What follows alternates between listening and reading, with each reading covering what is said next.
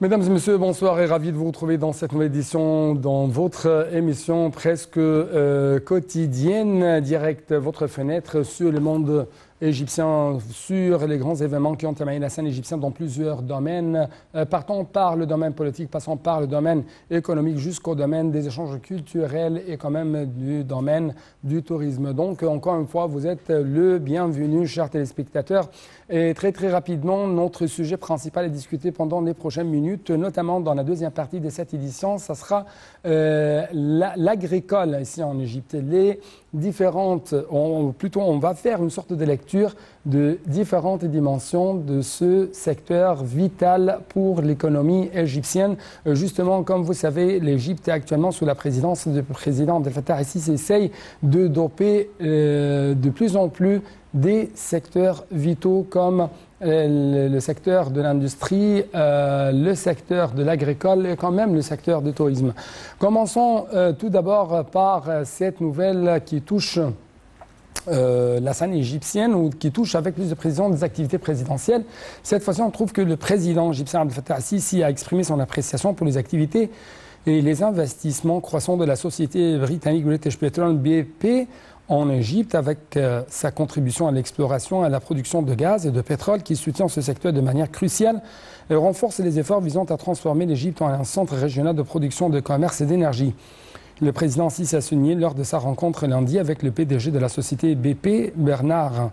Loni, en présence du ministre du Pétrole et des Ressources minérales Tariq El du président régional de la Société pour le Proche-Orient, le nord de l'Afrique, Ned El Zaki, l'importance qu'accorde l'État à la participation des entreprises mondiales et du secteur privé au projet de pétrole, de gaz et des énergies renouvelables. Il a également exprimé l'aspiration de l'Égypte à renforcer la coopération existante avec les entreprises mondiales britanniques notamment, euh, dans le domaine de la réduction des émissions, de la transition énergétique, en plus de la production d'hydrogène vert, dont le but est d'accroître l'exploration, la production et de maximiser quand même les bénéfices du pays en matière d'énergie et de ressources potentielles, et ce au bénéfice des générations actuelles et futures.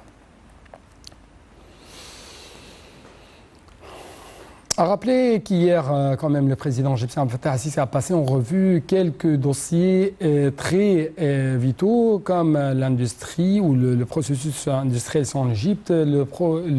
le, progrès réalisé par l'Égypte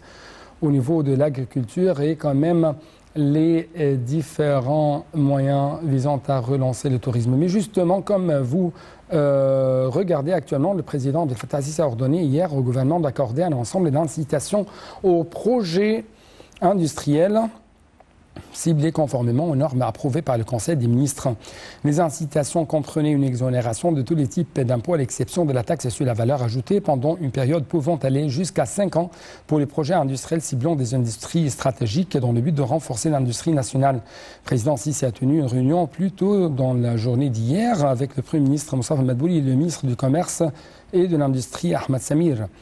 La réunion a abordé le suivi de la mise en œuvre de la stratégie nationale de développement de l'industrie, la vision future adoptée par l'État afin d'augmenter les taux de croissance de ce secteur et sa part du produit intérieur brut et accroître le volume et la qualité des exportations industrielles. Parmi ces incitations, citons euh, notamment l'exonération de tous les impôts à l'exception de la taxe sur la valeur ajoutée TVA jusqu'à une période de 5 ans pour tous les projets industriels ciblant des industries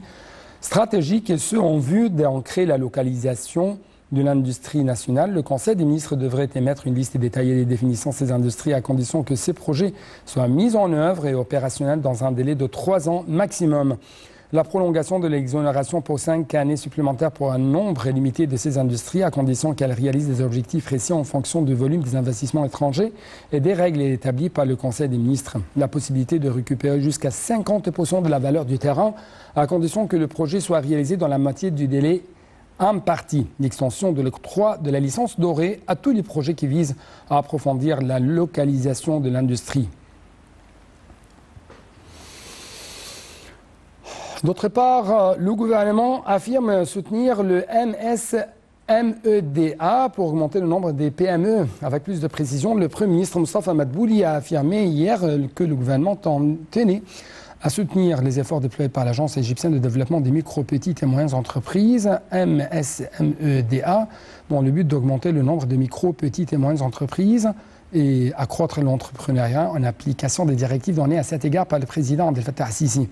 M. Madbouli a tenu ses propos en présidant une réunion au siège du gouvernement dans la nouvelle ville d'Al-Alamin du conseil d'administration de la MSMEDA en présence du gouverneur de la Banque centrale d'Égypte, Hassan Abdallah, et des ministres de plan de développement économique, Hala As-Saïd, des finances, Mohamed Mouaït, de la coopération internationale, Rania Al-Machat, des communications, des technologies de l'information, Amr du commerce et de l'industrie, Ahmad Sami, de président de l'autorité sur les finances financières. M. Madouli a souligné la volonté du gouvernement d'intégrer les efforts de la MSMEDA dans le plan de l'État visant à approfondir l'industrialisation nationale, à accroître les exportations afin de renforcer la capacité et la compétitivité de l'économie égyptienne. D'autre part, on trouve que l'Égypte a toujours soutenu les efforts de la communauté internationale pour renforcer les droits de l'homme, euh, dans le cadre de son approche de lutte contre le crime du trafic de migrants, en particulier la migration des enfants non accompagnés, qui augmente de jour en jour dans le monde entier, ce qui exige de leur assurer une protection de cette catégorie étant une des celles vulnérables selon les pactes internationaux? C'est ce qu'a déclaré Naëla Gabre.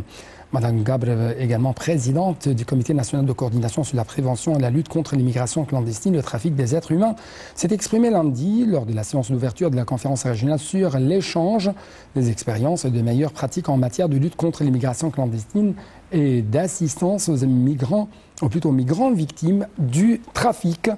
en particulier aux enfants non accompagnés organisés par le gouvernorat de la mer Rouge. L'Égypte a tenu à adhérer aux pactes internationaux pertinents dont la Convention relative aux droits de l'enfant, la Convention des Nations Unies contre la criminalité transnationale organisée et ces deux protocoles, a-t-elle dit, rappelant que l'Égypte avait pris euh, plusieurs mesures au niveau intérieur pour lutter contre les crimes en créant le Comité national de coordination sur la prévention la lutte contre l'immigration clandestine et la traite des êtres humains et a adopté une loi en 2016 en la matière.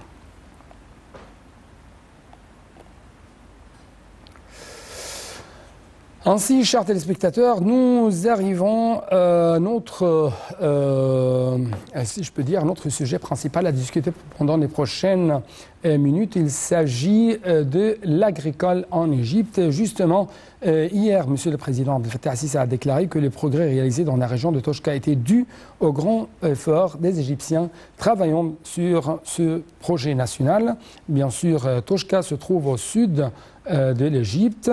Monsieur le Président a souligné la culture de 4 millions de fédans sur une période ne dépassant pas un an. Donc il y a toujours des efforts très assidus déployés de la part de l'Égypte, de la part de l'État égyptien, afin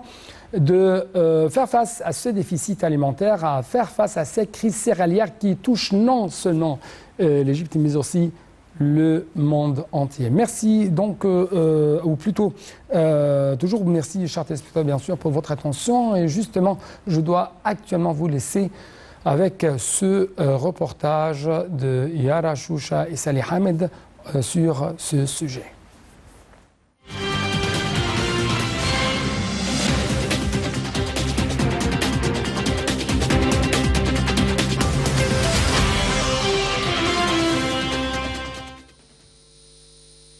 Le président Abdel Fattah el-Sisi a examiné la semaine dernière les projets agricoles nationaux au niveau de la République à la lumière des progrès constants réalisés dans ce secteur vital au cours des dernières années. Ceci dans le cadre du plan de l'État visant à réaliser un changement radical dans le cadre agricole de l'Égypte grâce aux efforts énormes et sans précédent pour restaurer des millions de faits dents à travers le pays. Ceci a eu lieu lors de sa réunion avec le Premier ministre Dr Mustafa Madbouli et le ministre de l'Agriculture et de la Bonification des Terres, Assayed El-Qusir. Le président Sisi a été informé des efforts visant à augmenter et à améliorer la productivité du fait dents en Égypte en termes de quantité et de qualité, permettant à l'Égypte de progresser dans le classement mondial de la productivité du fait dents aux cinq premières classes concernant de nombreuses cultures, y compris le riz, le maïs et le blé. Dans ce contexte, le chef de l'État a donné ses directives de la poursuite des travaux visant la gouvernance de l'utilisation des engrais et des semences, ainsi que l'activation de systèmes d'irrigation modernes pour économiser l'eau. Le président a également examiné les taux de croissance des exportations agricoles fraîches et fabriquées à l'étranger, qui réalisent un grand essor dépassant les 7 milliards et demi de dollars au cours de l'année 2022. À cet égard, il a ordonné de poursuivre les efforts intensifs visant à fournir le soutien total aux agriculteurs ainsi que le travail continu pour améliorer la qualité, maintenir et renforcer la réputation du produit égyptien au niveau mondial en adhérant aux normes internationales dans ce contexte.